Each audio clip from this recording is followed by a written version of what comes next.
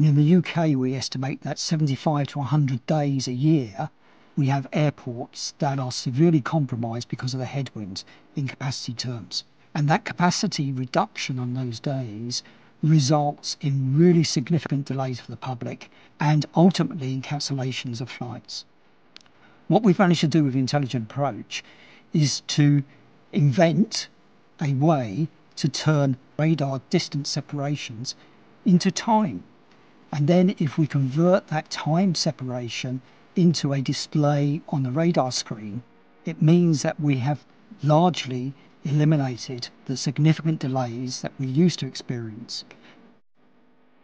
Gatwick Airport is a world first deployment of intelligent approach for a single runway, what we call mixed mode. Previously, it has been landing aircraft only. At Gatwick, we also have to amend it to be able to take account of the departures in the middle. For a single runway airport, the challenge is to create the spacing between two arrival aircraft that is just the right amount of time for the interweaved departure to get airborne. So there's been a lot of work that's gone on with our colleagues at Swanwick to uh, design the procedures, uh, to test and train the controllers.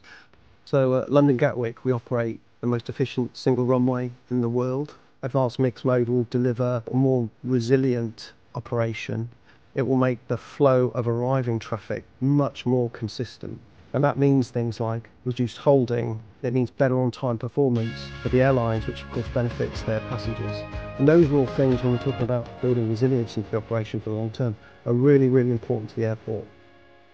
The most important thing for me is at the end of every day we have delivered the amount of planes and passengers that are looking to use Gatwick Airport to the destinations or to the UK safely and efficiently. Intelligent approach will allow us to do that in a more resilient way and also to increase the throughput to help Gatwick continue to be successful in the future.